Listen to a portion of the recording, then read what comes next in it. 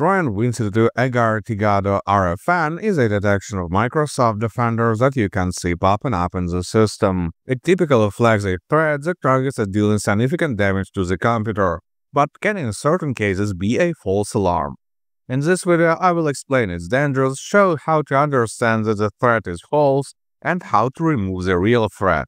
In normal situations, Trojan Win32 Egairtigado RFN can flag a wide variety of malicious programs, from loaders, spyware and backdoors to ransomware. The name is totally generic, there's no big malware family that has such naming.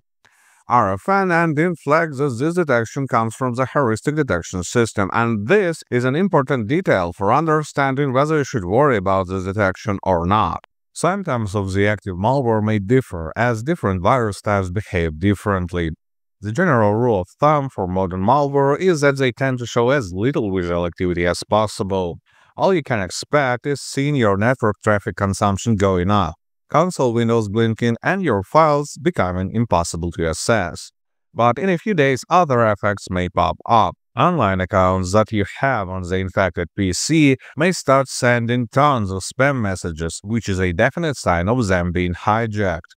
There is also a possibility of this detection being a false positive. As I said, it comes from the heuristic detection system, which requires confirmation from other detection systems for better accuracy. When other systems cannot confirm or deny that the threat is real, it can end up with a false detection. If you see Microsoft Defender flagging a safe and legit application as malicious, you can just dismiss the alarm. But how to understand whether you should worry about the Trojan Win32 Egairtigado RFN detection or not? Manual analysis may be complicated, especially since malicious programs can sometimes mix their files with legit applications. For that reason, I recommend running a second opinion scan with Gridinsoft Anti-Malware.